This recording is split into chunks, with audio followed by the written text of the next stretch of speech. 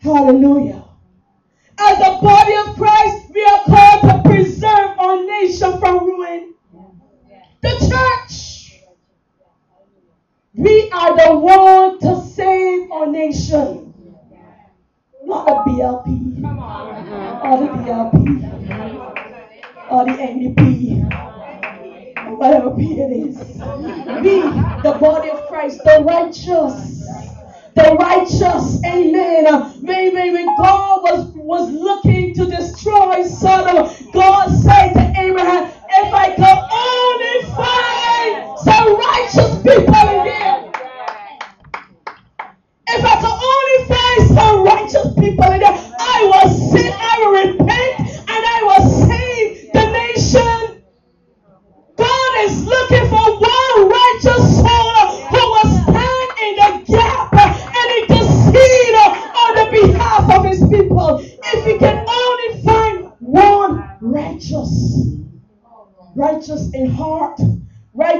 attitude, righteous in conduct and behavior. We are called to be the salt. Yes.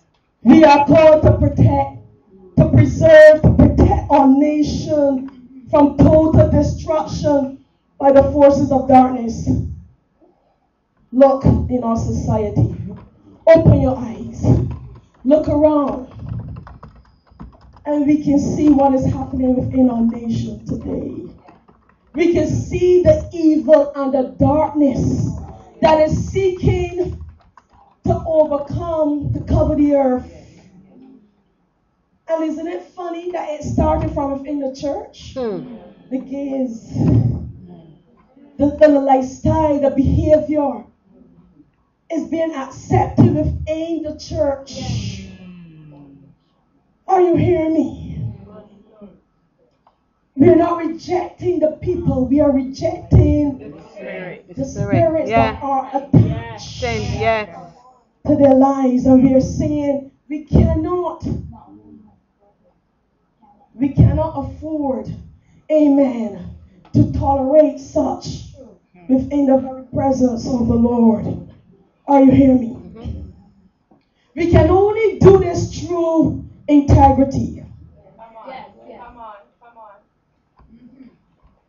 Integrity represents an aspect of God's holiness. And I want to touch a little on integrity this morning. If you didn't understand the holiness of God, then I want to look at the word integrity. Are you hearing me? Only men and women of integrity can truly preserve, protect, and flavor our homes, our churches, our community, and our nation. What is integrity? Integrity is aligning our thoughts, our motivations, our attitudes and action with the ethical with the ethical principles found in God's word. In both our personal lives and our ministry, what we believe, what we say, and what we do must be consistent, reliable, and transparent. I'm talking about integrity. We must be true representatives of the holiness of God in the earth. Integrity means doing the same thing whether people are with you or whether you stand alone. I'm talking about integrity. Hallelujah. Integrity is doing the right thing, not necessarily the popular thing. Right. Are you hearing me? Thank you. I'm talking about integrity. Yes. Hallelujah. Vashti was a woman of integrity. Hello. When her husband, her drunken husband, who was a king, wanted her to come out and dance before a bunch of drunken men. But he did not even want her to come out with her robe.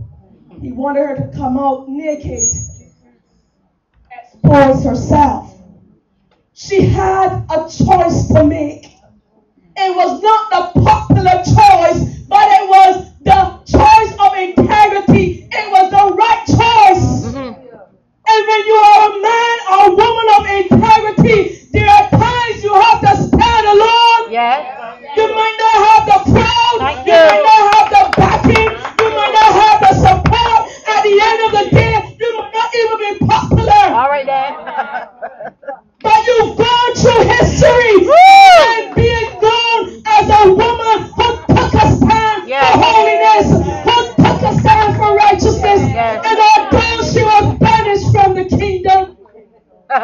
she made through history. Many forgot about her. Actually, many times I've heard about Vashti as a woman who was disobedient uh-huh. rebellious. Huh?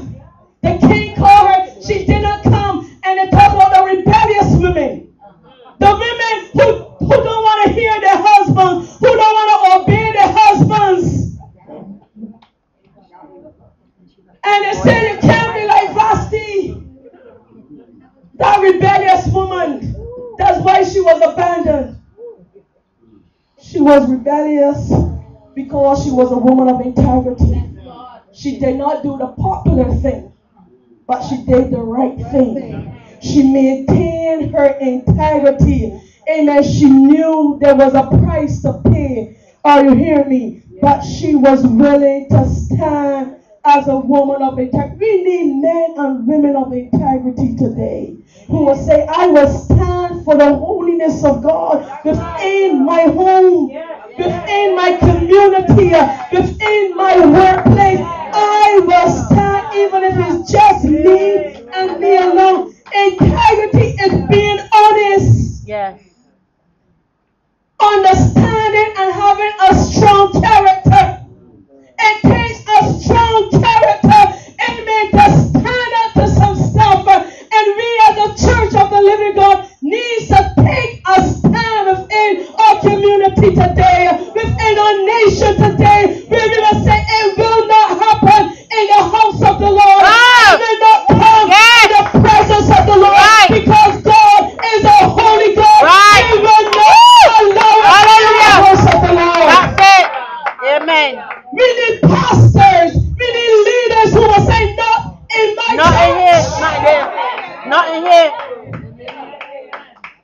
I don't know how many of you read the papers a couple of weeks ago. They blister Pastor Greenwich.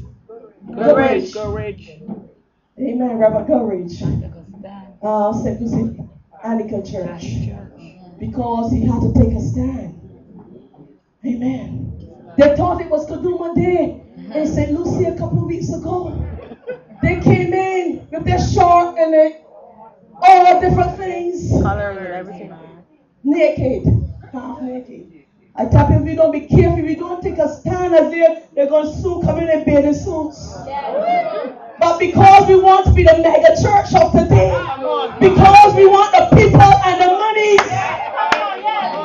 She's we not. take praise in the house of the Lord. Ah. We can't speak today because they're rolling out their pay thousand dollar checks, so we cannot offend. Oh my God. We do not want to offend, and because we do not want to offend